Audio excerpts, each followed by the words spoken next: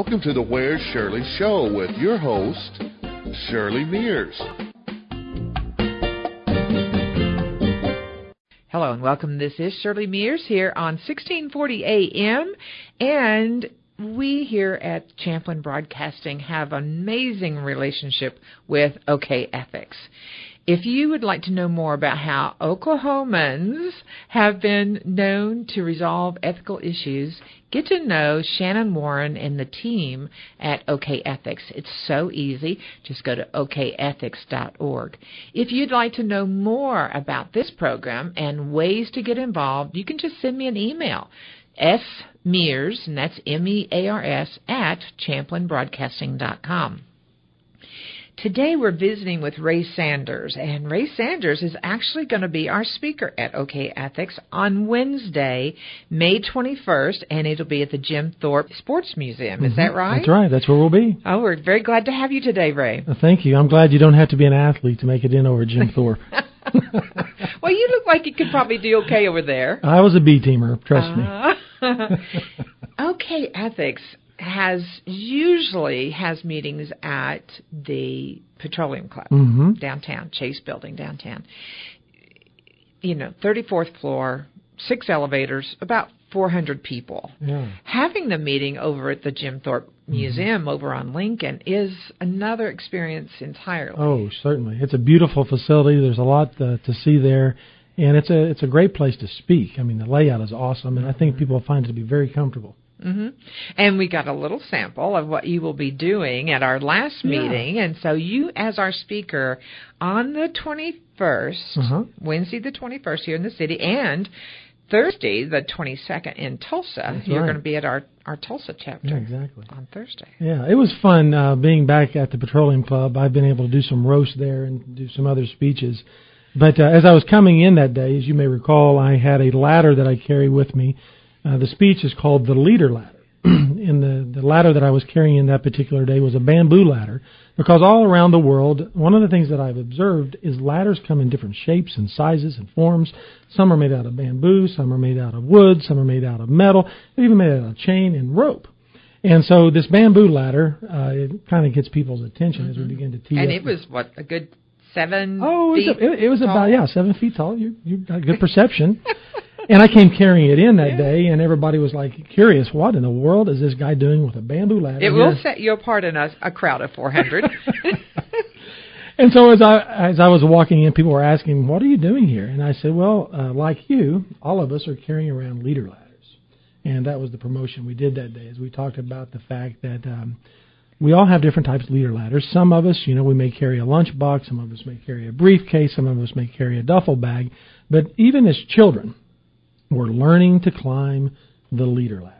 You know, I have uh, six kids, I have three grandchildren, and it's been fun as a grandparent watching these young babies try to pick up and crawl and, you know, set up and do that whole thing.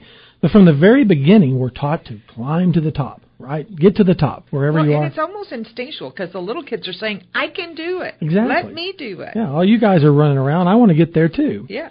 And so that's part of what we talk about uh, when when people come to see the speech or hear the speech. I'll set three ladders up on the stage, and I'll have a small ladder, a medium-sized ladder, and then I have about a 12-foot ladder. And I give part of the speech from the top of this 12-foot ladder. And I and each of these ladders represent different stages in our life. You know, the the, the childhood, the the uh, you know the college and, and and student phase, and then there's the career phase. You know, all of us think that we got to climb the top, you know, to, uh, of the ladder. And so one of the things that we point out is as you climb the ladder of success, if you will, we think that we want to get to the top. But all of us fail to look at that little sign. Have you ever been to the top of a ladder, Shirley? I mean, when you get to the top of the ladder, there's this little sticker. You know, if you go to Home Depot, you go to Lowe's, you go anywhere, and there's a sticker on the side of the ladder, and we don't pay any attention to it. It says, warning, don't go here. So all of our life, what have we been trying to do? We've been trying to get to the top. And when we get to the top, we learn it's very different. We learn that it's lonely. It's isolated. We've made incredible sacrifices to get to where we are. Sometimes we've sacrificed family. We've all worked the late hours. We've worked the 8 to 10, the 12 hour days, the 6 day, the 7 day weeks. And we realize that all this hype that we've followed for all of our lives to get to the top, you know what? It's just pretty crazy at the top of the ladder. We we don't know who to trust. We don't know who wants something from us. We don't know if we really have true friends, and so we're isolated. And isolation for the leader is a very dangerous thing. I've heard it even referred to as frenemies. Oh, yeah. You know, somebody you think is a friend, but then you find out later they just wanted to use you to step over exactly. where they were trying to go to. So let me ask you a question. You you kind of teed this up, Shirley. That was really good. When whenever you think about a ladder, what's a ladder for? To get to the next place. The next place. The climb. We're always climb. talking about climbing uh-huh. a ladder. Uh-huh. And so if I were to ask you, and I do this in the speech, I ask people, I say, what are the steps on a ladder typically called? Rungs. Rungs, right. And so one of the points in the speech is that all of us have rungs and wrongs in our ladder. Rungs, rungs, rungs and, and wrongs. And wrongs. We have rungs and wrongs in our leader ladder. And so as you think about it and you look back over your life, you begin thinking about people that have wronged you. I mean, we all have people that have wronged us. Mm-hmm. We may have family members. We may have parents. We may have siblings. We may have a, a coworker, somebody who's wronged us, stabbed us in the back, done something to us to prevent us from what? Climbing that leader ladder. Or, or maybe even pulling you off. Oh, absolutely. Absolutely. But then there comes this point where you realize I've been a wrong as well. You, that you've You've been you've wronged someone. Ah. You may have been pulling on someone's tailcoat. You may have stepped on someone, stepped over someone, and let's just face it, we all have stepped on somebody climbing up the leader ladder. Mm-hmm. And so the the key is to learn to be uh, a rung, not a wrong. Rungs are the people in our lives that have helped lift us up.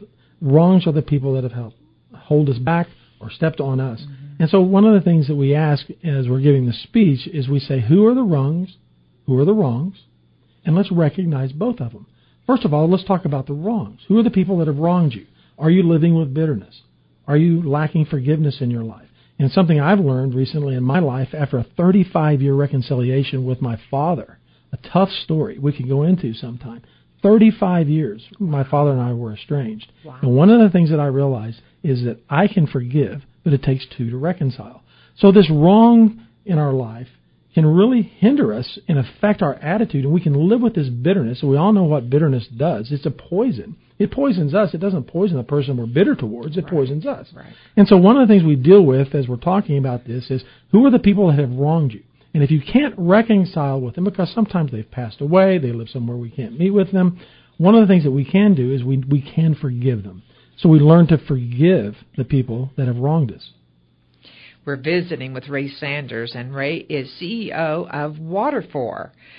The word water and the number four. And there's all kinds of fascinating things to Ray's life, in addition to being a part of OK Ethics as our speaker Wednesday at the Jim Thorpe Sports Museum. Is that he loves, loves to make a difference. And we're going to learn more about that as well.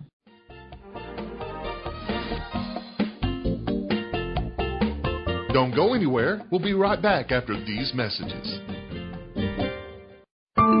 What do Three Dog Night's Jeremiah Was a Bullfrog and Elvis Presley's Heartbreak Hotel have in common? Both have Oklahoma ties. Jeremiah was written by Duncan native Hoyt Axton, and Heartbreak Hotel was co-written by his mother, Mae Boren Axton. She was related to OU President David Boren. Although he started out his life on a football scholarship to OSU, son Hoyt's career embraced music. His songs were recorded by everyone from Ringo Starr to Oklahoman John Denver. We salute the creativity of this talented Okie. Live up to the legacy of Oklahoma's leaders. Promote Oklahoma's values of integrity at work. Join Oklahoma Business Ethics Consortium on Wednesday, May 21st at the Jim Thorpe Museum. Hear Ray Sanders, CEO of Water4 Incorporated, and his presentation, Rungs and Wrongs. Registration is required. Tickets are $35. Visit okethics.org or call 405-858-2233 from the Oklahoma Business Ethics Consortium and the Oklahoma Heritage Association.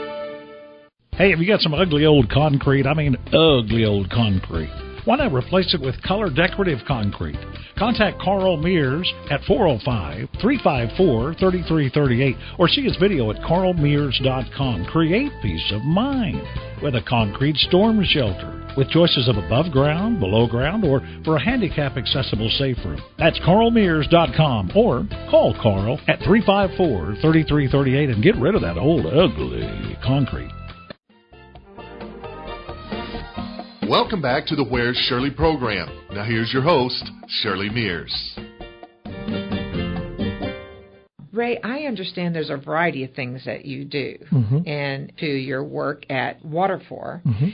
which has a way of bringing water to third world countries. Yeah, Is that yeah, the developing world. We bring water to the developing world. It's a very unique model. Uh, at Water4, we say that we're not into charity; we're into opportunity. Our our true mission and passion is to eradicate the world water crisis by putting the solution in the hands of the people. In essence, we're caring capitalists who want to put people to work solving their own problems. And so we've come up with a way. Uh, Dick Greenlee is the founder of Water For. He's a geologist and has a water background. And Steve Stewart is an inventor, and they together have come up with a system and a solution that can be manufactured in country. It's very simple. Using materials from there. from the country, yeah, using PVC pipe. One of the challenges was to find a material that is- is readily available anywhere in the world. And PVC pipe, believe it or not, Shirley, is available anywhere in the world. And so we've come up with a pump that will pump water from about 80 feet down in the ground, and we can help the folks learn how to manufacture the pumps, assemble the pumps. We've come up with a drilling method.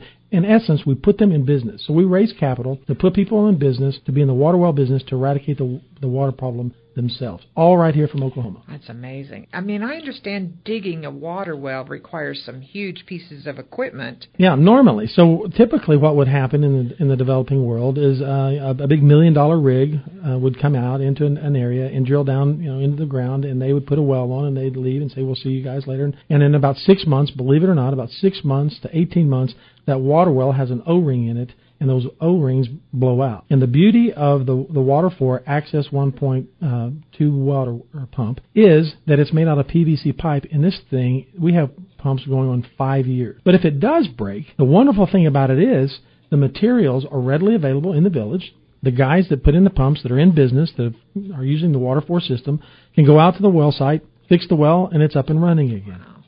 And these are remote places.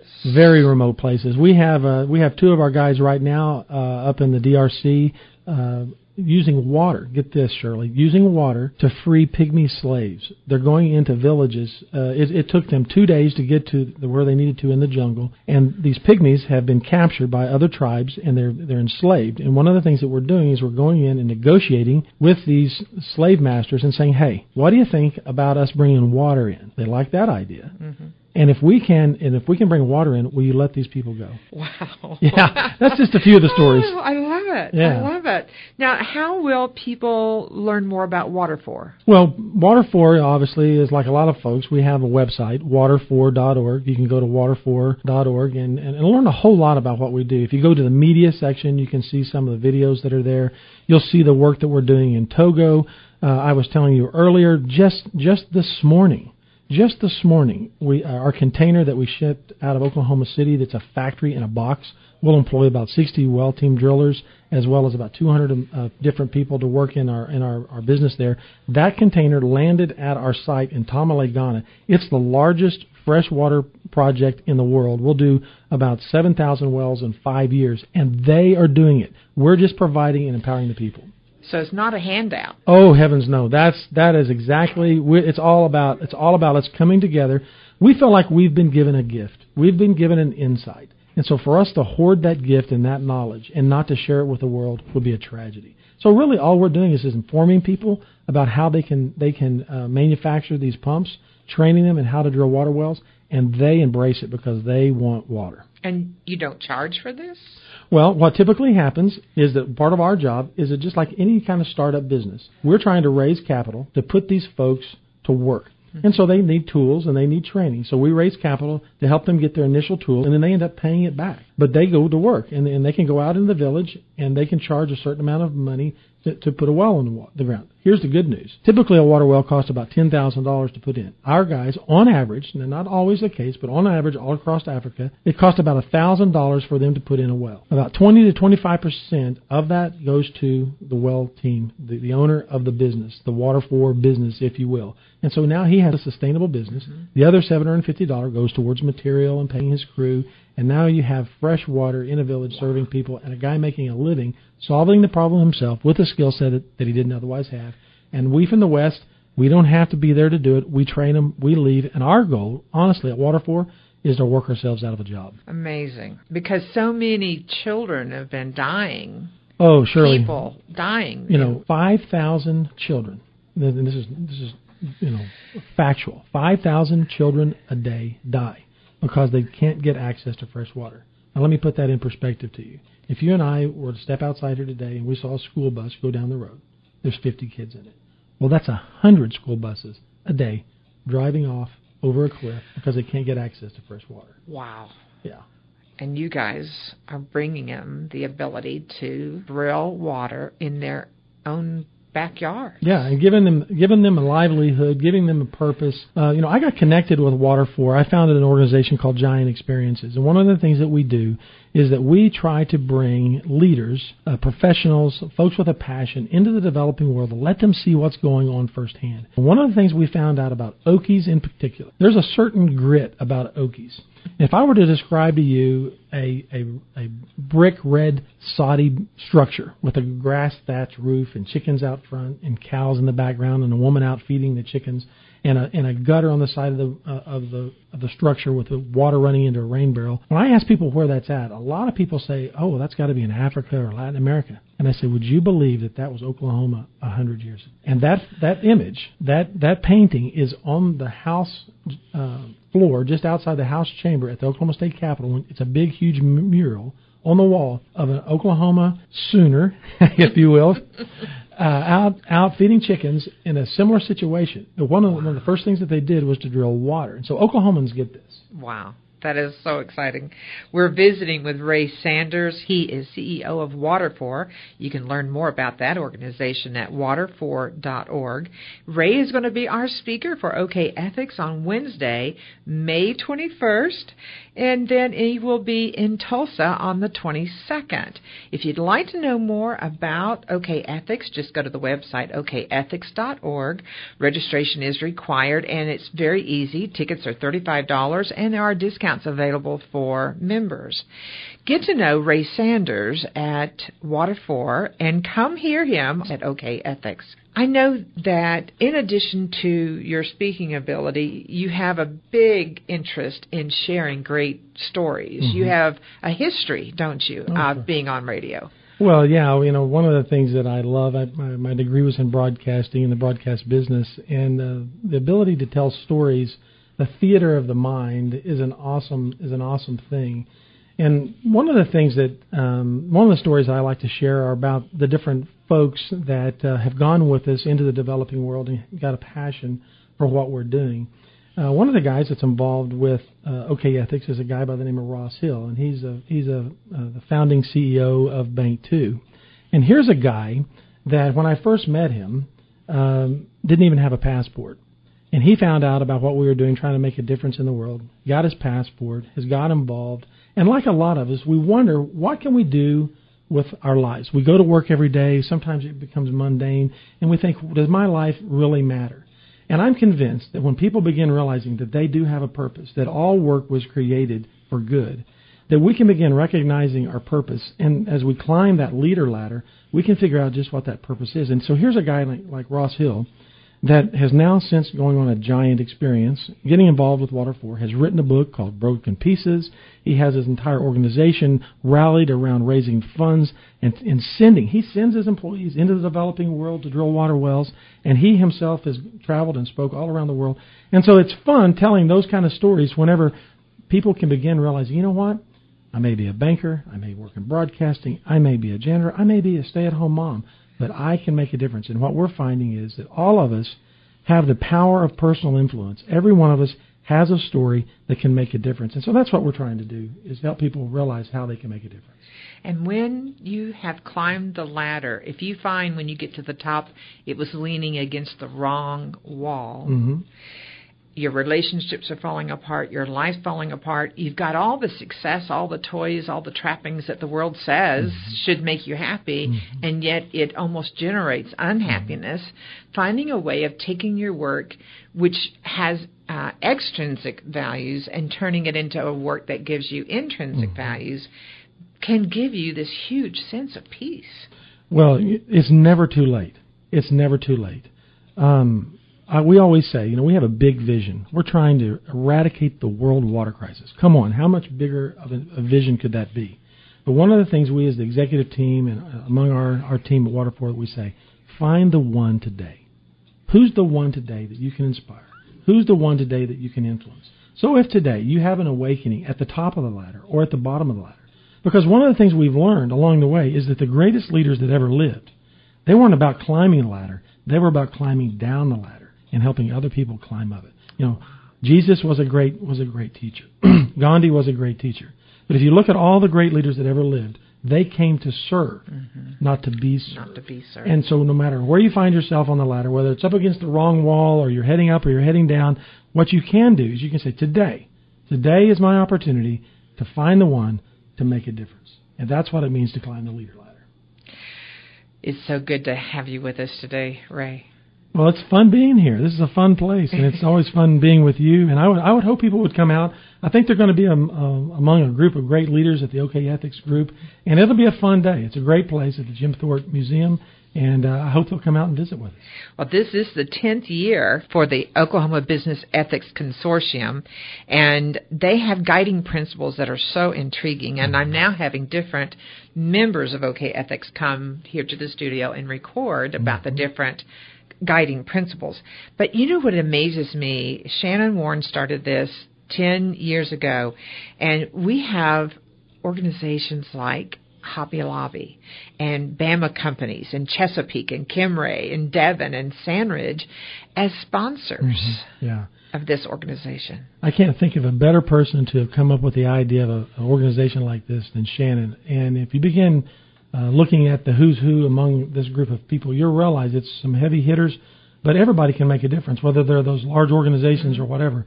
One of the things that I'll share uh, during this speech are different stories. Uh, one in which is about uh, a group of founding stock traders on the Shanghai Stock Exchange and how they had to make a different a, a decision ethically as to how they would function on the stock exchange. And so these organizations, we've all you know heard about the organizations, the corporations that have had big ethical issues in the in the last few years. Well, these organizations have said, you know what, we're going to hold ourselves to this standard.